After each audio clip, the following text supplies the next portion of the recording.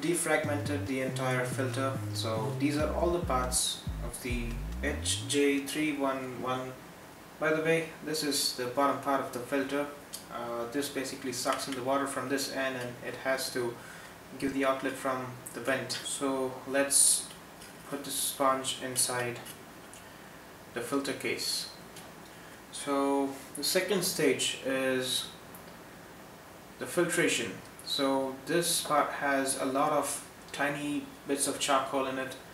This is going to be on the second stage of the filter. I basically love the mechanism. It's pretty good. Neat design. Uh, it just drops in like that. And this is the top casing part for the entire uh, bottom case. Let's fix it up. So this thing includes a switch where uh, you can turn it off or on or you can push it in the mid level for uh, uh, medium speed on for high speed filtration here's the head of the pump. This is the outlet vent and this is where the water is being circulated and gets the water from the lower casing. Uh, this also has a case so you just have to fix it onto that. It's pretty intact um, apart from that you just have to fix this bottom case to this part and that's pretty much it. It's fixed. Here we have the waterfall kind of outlet. Uh, this is what I've been wanting for my aquarium just for the noise. Um, I just wanted some you know waterfall kind of noise in my aquarium.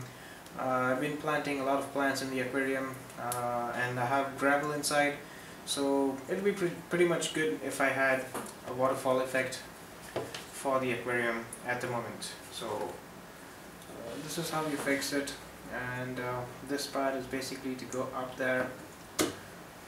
This is how it looks now. You're supposed to move around this. so this is pretty good. This is the waterfall uh, mode of the filter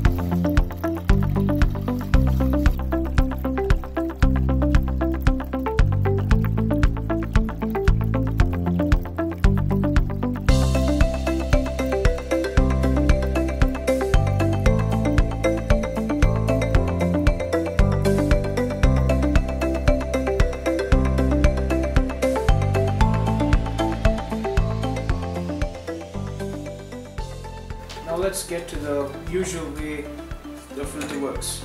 I basically don't know if this will really work.